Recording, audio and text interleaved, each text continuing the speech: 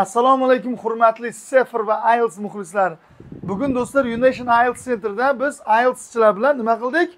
Ielts kandidatlar bilan biz taskoni yozdik. Bu taskimizni nomi barchart. Tushunarlimi mana? Demak barchat mana bunaqa davom etadi. Barchatning topigini tushuntiraman birinchi. Demak the chart below shows the expenditure of two countries on consumers consumer goods in 2010 demak bu yerda ikkita davlat berilyapti. Fransiya bilan uk uk degani birlashgan qirollik. Bu yerda nima nazarda tutiladi?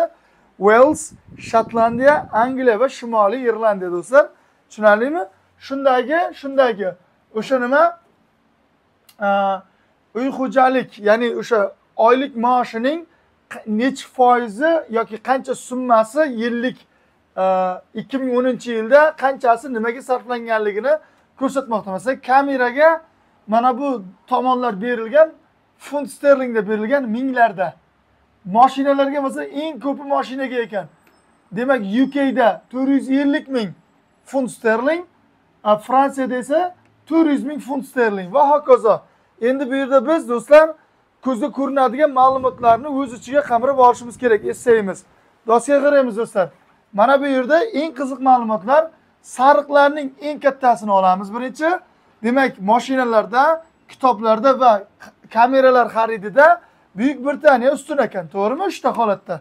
Demak shuni badiiy o'nga yozsak bular badiiy tuga nimani yozamiz. Fransiyaning ustunlik jihatlarini yozamiz.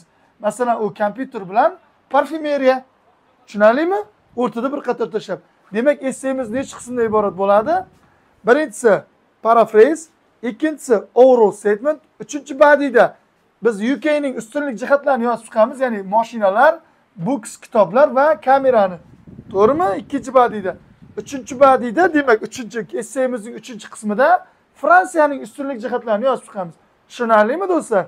Bu yerda boshqacha solishtirishning usuli yo'q. Eng sodda va eng zo'ri shu. Demak ketdik.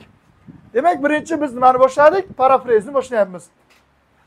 A glance at the figure provide reveals the amount of money spent on five consumer goods mana cars computers books perfume and cameras in france and the uk in 2010 units are measured in pound sterling. Do'stlar shunday qilib yozishingiz kerak esseyni parafrazini. Xuddi ko'r odamga yozayotgandek bo'lishimiz kerak. Shunda mana shu berilayotgan joyini hammasini qamrab olishimiz kerak. Demak bu yerda mashinalar kompyuterni qamrab oldimi? Ha figuraga ya'ni figuraga bir qaraganimizda bizga shuni tasvirlab beryaptiki beshta iste'mol tovarlarini xususan mashinalar kompyuterlar kitoblar va parfyumeriya va kameralar fransiya va angliyada ya'ni birlashgan qirollikda sotib olingan ikki ming o'ninchi yilda. O'sha sotib olingan xaridlarning summasi funt sterling minglarda hisoblangan do'stlar. Demak parafrez ketdi. Endi nimaga boshlaymiz overall statementga. Overall statementimiz mana do'stlar.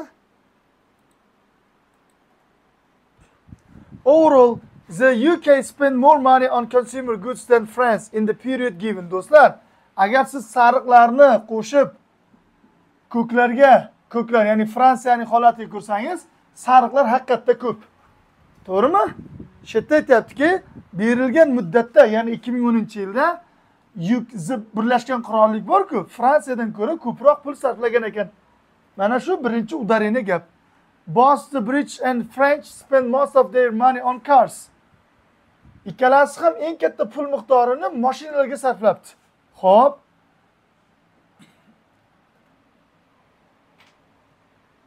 Whereas the least amount of money was spent on perfume in the UK compared to the cameras in France. Do'stlar, eng kichik miqdordagi pul miqdorini Buyuk Britaniyaliklar nimaga parfyumeriyalarga sarflabdi?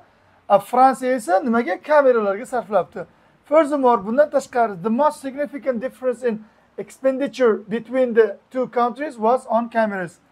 Eng katta eng katta ko'zga ko'rinadigan farq shunda ko'zga tashlanganki bu kamerada kameraning xaridida deyapti. Tushunarlimi? Mana overall statement mana shunday yoziladi. Demak keyingisiga o'tamiz badiyga endi badiyda nima deymiz? Badiiy von do'stlar mana in terms of cars mashinaning holatiga ko'ra people in the uk spend about 450,000 uh, pounds on this as opposed to the French at 400,000 pounds. Demak, mashinaning holatiga ko'ra mana qarang, jigarrangga, ya'ni pushtirangga UKliklar, ya'ni Birlashgan Qirolliklardagilar taxriban nima 450 ming funt sterling sarflabdi. Fransiya esa 400 ming. ho'p shuni aytdik. The bridge expenditure was higher on books than the French strength, about 4,000 pounds, 400,000 pounds and 300,000 pounds respectively.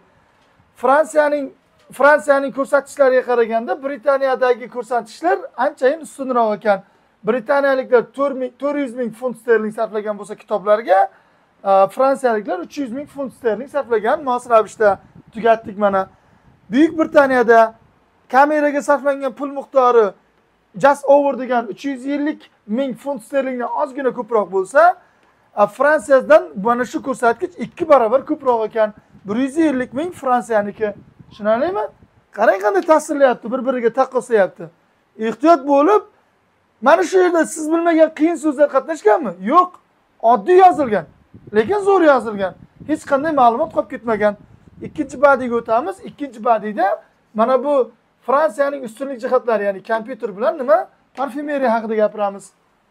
Ikkinchi badiyda mana aytyaptiki, anda azr other hand, ha, boshqa tomondan qaraydigan bo'lsak, the amount of money paid out on the remaining goods was higher in France.